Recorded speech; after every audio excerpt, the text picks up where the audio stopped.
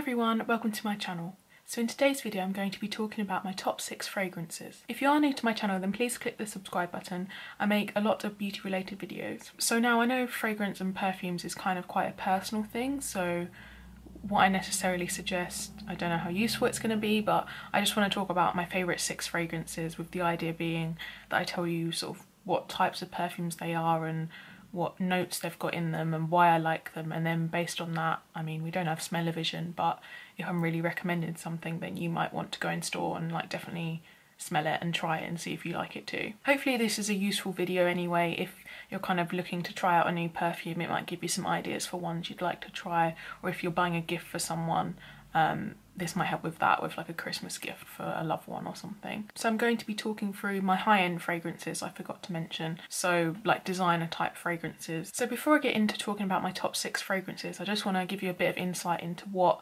my preferences are in a fragrance. Um, so I've made some extensive notes um, for all the fragrances, but um, yeah, just talking about my preferences, I prefer more of a sort of woody oriental type smelling fragrance that is strong enough that you smell it when I'm next to somebody, but I don't like ones that when you walk past someone and they like really whack you in the face.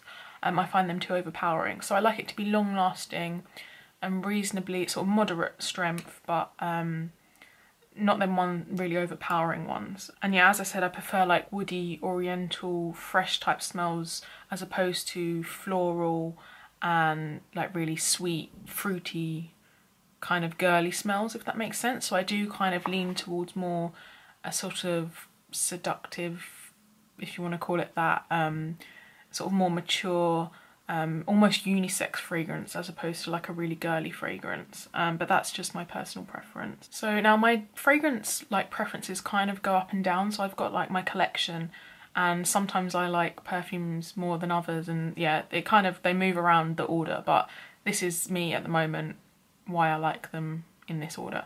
So my top fragrance that I'd recommend at the moment is my Mon Guerlain from Galan. I don't know if I'm pronouncing that right, hopefully I am. Yeah, so this is the, I don't even know how you say that, Eau de Parfum. So you can either get Eau de Parfum or Eau de Toilette, is it? I, am really butchering that, I don't know how you say that. But yeah, I think, yeah, this one's the Par Parfum one. And also, just a side note, I keep all my fragrances in their boxes that they come in um, because this helps to protect the perfume from sunlight so that helps increase the longevity of the fragrance like how long it lasts before it starts to go off most fragrances do last around three years but because I've got almost a collection I don't ever really use for a fragrance and I it just helps like I said with the longevity so you're getting your money's worth out of the fragrance without it sort of going bad. Fragrances do go bad but they just kind of don't smell how they used to smell but you can still like wear them like there's nothing wrong with it unless it's yeah it's literally 10 years old and then I probably wouldn't recommend it. Anyway so if I stop rambling and get this uh, out of the box um, this is what the packaging looks like. I've got the size 30 milliliters. This is actually my second bottle so I like it that much. Oh no sorry this is 50 milliliters this one. Um, the box is a 30 milliliter box because this is from the previous one that I had um, but I just kept this box. Yeah it's quite a nice packaging. It's glass packaging um, the colour of the perfume is like a light pink sort of colour and then this top has got kind of, it's plastic I think the top. Um, but yeah, it's a nice shaped bottle. Um, very sort of traditional shaped perfume bottle from Guerlain. So looking at my notes, um, this fragrance was launched in 2017 and it's described as, I think it comes under an oriental fragrance. Um, it's described as fresh oriental. Now for 30 millilitres, this retails for £53 in the UK um, obviously larger sizes are available, but for all of these perfumes I'm just going to state the smallest size, which is 30 millilitres and how much that costs. Um, and yeah, if I go into talking about notes of this perfume, um, basically from my limited knowledge of perfumes and perfumery, you have your top notes, and then you have your heart notes or middle notes, whatever you want to call them, and then base notes. Now I used to think that top notes would mean that's the strongest sort of fragrance that you can smell in the perfume but it's actually not. From what I was reading the top notes is them smells that you initially get when you spray it. Them top notes kind of evaporate away quite quickly. And then the middle notes are kind of what you can smell next that kind of last a reasonable amount of time and then they kind of fade away. And then then base notes is like the base to the perfume the longer the longer lasting um, scents that you can smell. So after you've had the perfume on all day there that's the notes that you can still smell um, lingering on your skin basically. Um, so yeah, back to this Mon Guerlain one. Um, the top notes are bergamot, Carla and lavender. Hopefully I'm pronouncing bergamot right, I have no idea how you pronounce that. Um, heart notes, par paradisone. I don't know how you say that, I don't know what that is. Um, sambac jasmine, coumarine, and then base notes are iris, vanilla, and album sandalwood. Lots of them things sound fancy. I don't know whether they're just varieties of, of the scent. I don't know. Um, but yeah, sorry for butchering what they're called because I've never heard of a lot of them things. The intensity according to the website is like a three out of four. Um, not Guerlain's website. I was on the perfume shop website. They give you a lot of information about fragrances. It's a really good website. So that's where a lot of this information has come from. But yeah, this is my favourite um, fragrance at the minute because it's it's quite long lasting and like it's a really nice fragrance. You should go and smell it definitely. Um, but it's not too overpowering so like I think this is one you can wear of a daytime and a nighttime like it's appropriate for all occasions. It's very much like my scent of the minute. I kind of I kind of add like one perfume a year roughly to my collection and it almost stands as like my scent for a certain year of my life. If I know that sounds strange but so this is very much the scent I've had actually for more than a year. I think I, I got this when it came out, so I was about maybe 21, 22. But yeah, this has been my top fragrance for like the past maybe one and a half years. So yeah, it's a very me smell. Um, and it's feminine, but it's not too girly, but not too mature at the same time. It's just a really nice one. So yeah, this is my favourite. Oh, and I forgot to say as well, um, for this Mon Guerlain one, the um, ambassador, if you want to call it that, um, or celebrity endorser is actually Angelina Jolie, which is quite cool. And I think the fragrance was meant to be inspired by her as well. Now, my second top fragrance is actually my most recent addition to my perfume collection, and that is the Good Girl um, fragrance by Carolina Herrera, if I'm saying that right. Um, so I've got 50 milliliters in this as well and it's an Eau de Parfum. So it comes in this lovely box, it's like velvet on the box. Um, if I open it up, this is by far, like it's so bougie. It's such lovely packaging if you look at it. Look, it's literally, it's like a high heel shoe. Like have you ever seen anything so beautiful? And yeah, basically you kind of push the top here and the fragrance comes out there. And it, it stands up as well, so you can, you can stand it up. Um, it's a bit of a shame because this is very much like a display perfume. I'd love to display it, but because I want to increase the longe longevity um, I like to keep in the box. Now looking at my notes, this um, fragrance was launched in 2018, so it is quite a, a recent fragrance. Um, it's described as an oriental fragrance, which again is what I like. Um, it's described as modern femininity, sophisticated, good and bad side combined, and it's meant to be a sensual type fragrance. And I definitely agree with that. It's It smells very sensual. It's kind of hard to describe perfumes, but I hope you know what I mean by that. Like it's just quite, I don't know, feminine but seductive and a bit more mature if that makes sense. Now in my opinion I think this is more of an evening fragrance because it is it is quite a strong fragrance but it's not super overpowering. Um, I don't know I just feel like it's nighttime appropriate um, but obviously, obviously that's up to you. So the top notes in this are almond, heart notes are jasmine, sambac, tuberose and iris and base notes are tonka bean, cocoa, vanilla and coffee. To me I can really kind of almost smell that the um, cocoa and the vanilla and I think that's why I really like it. They're meant to be the base note. It just gives it a more kind of unisexy type smell to it. I think I can smell the coffee in that as well. But yeah, this is my second top fragrance. Oh, and I forgot to say this Carolina Herrera one um, comes in at 30 millilitres for £51, so it's £2 cheaper than the Mon Guerlain one. Now the next fragrance I've got is this Paco Rabanne Lady Million. Now I've only got a little kind of sample size in this which I got in an advent calendar but I really like it so that's why it's coming in at number three at the minute. Now this fragrance has been around for quite a while. It was launched in 2010 and it's meant to be a seductive fragrance. On that website I was saying the perfume shop they have this down as being in the floral family but um, if I just open it up um, to me, it doesn't it doesn't smell that floral. Like I can kind of get a bit of floral underneath, but I don't know. I don't know. I think I'd maybe put this in more of like a fresh category, I'm not really sure. Um, the top notes of this are bitter orange, raspberry. The heart notes are jasmine, orange flower and neroli.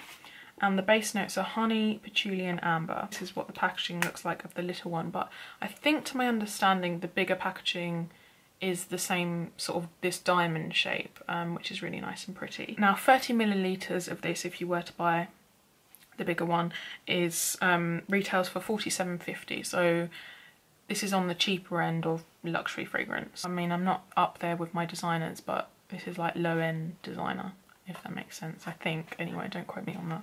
So that's that reflects in the price being a couple of pounds cheaper. I think this fragrance is really nice if you like unisex fragrances. It smells, it doesn't smell very girly or even very feminine, it's but then it's not masculine, it is, it is very unisex.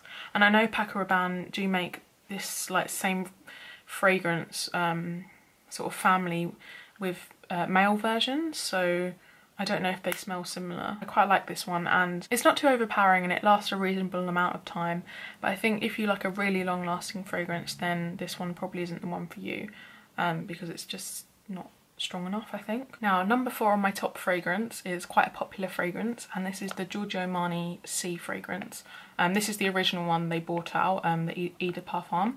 Uh, they do do all different variants of Si now, which I'm yet to try, but this is the like original just Si. Now this was launched in 2013 and it's meant to be a modern, elegant, sultry, strong but soft fragrance, which I definitely do agree with. Now this one's quite a personal one for me. Um, like I was saying, perfumes often reflect, like they really, if, do you ever smell a fragrance and then it like really reminds you of a person? I feel like for people who know me, this is me at age 18 in a bottle. Well, it was launched in 2013. I think I was 18 in 2014, so I think that's around the time, the time I got it. This just reminds me of my first year of uni. Um, and this was my favourite number one fragrance for a while. Uh, the only reason it's been bumped down to number four is, well, it's kind of funny. Basically, first year of uni, I just remember being hungover the whole time. And because this is such a long lasting fragrance, this smell now just kind of reminds me of having a hangover, so that's not too good, but that, that's just my experience of it. But I, I do still think it's such a lovely fragrance. Can't remember if I said this is meant to be part of the woody family. Um, and the top notes of this are Sicilian bergamot, mandarin oil, um, liqueur de cassis, and then the heart notes are rose de may absolute, uh, neroli absolute, Egyptian jasmine absolute, and the base notes are patchouli oil, Blonde Woods, Amber, I don't even know how, how you pronounce that, or Orchanoxa, and Vanilla Absolute. A lot of absolutes in there.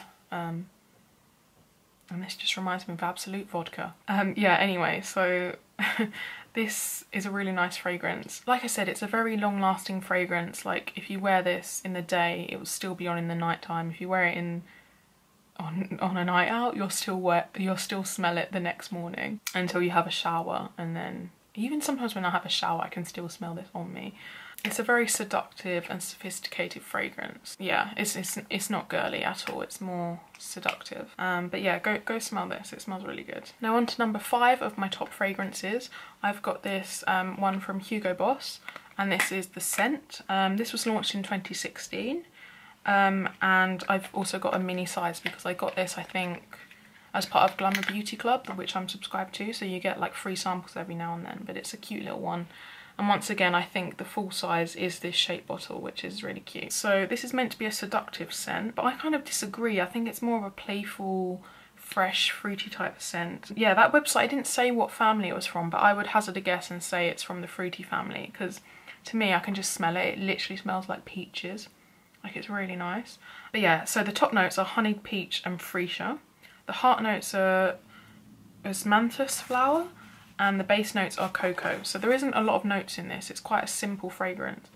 But yeah, to me it just smells very fresh and very much a summery fragrance. Um, I think this is very much a daytime fragrance and it's it's not too strong. It doesn't last amazingly well, so bear that in mind if you like long-lasting fragrances. 30 millilitres of this retails for £49, so it's not too bad price-wise. Yeah, go smell this, it smells like peaches. Now my least favourite high-end fragrance in my collection, although I do still like it, um, so it's not at number six. This is the Alien by Mugler fragrance, um, and this is like the purple one. They do do a clear one, which I don't like the fragrance of. But yeah, this one was launched in 2009, so it's been going quite a while now, this fragrance. I think Mugler are very well known for their angel fragrance, um, which is very famous and been going for years. But yeah, this one, it's another, another one that's a very beautiful bottle. I don't know why this really gives me like Lady Gaga vibes. I think when this came out, I think Lady Gaga did endorse it as a celebrity endorsement. Um, or that might have been the gold one actually. Um, but yeah, it just really reminds me of her. Um, once again, I think it's glass bottle and then this top talisman is like plastic. And you can buy one, the, one of these that's refillable, but I don't think my one is. It's described as a rich woody fragrance from the Oriental family, which I would definitely agree with. To me, it, it's very like woody. Now the top notes are mandarin essence, the heart notes are Moroccan jasmine, and the base notes are white amber and cashmere Cashmeran wood and 30 millilitres of this retails for £45. Now my thoughts on this is I like the fragrance but it's my least favourite because it's very overpowering. Um, like I was saying I don't like fragrances that hit you in the face or you know when somebody walks into a room and then you can just really smell it and then they leave the room and you can still smell it in the room. I don't I don't like them types of fragrances. Um, I find them too like overpowering and kind of gives you a headache. I got the Eau de Toilette because usually Eau de Toilettes are a bit less strong than the Eau de Parfum but this is still very strong, way too strong for my personal preference. But I do really like the fragrance. Um, so I think if you are a person who does like a strong fragrance then check this one out. Um, it's a very nice strong, very long lasting um, fragrance uh, if you like oriental woody type smell. So I think that just about wraps up this video now. I hope you've enjoyed watching this video. If you did then please thumbs it up and don't forget to subscribe down below as well. I look forward to seeing you in my next video.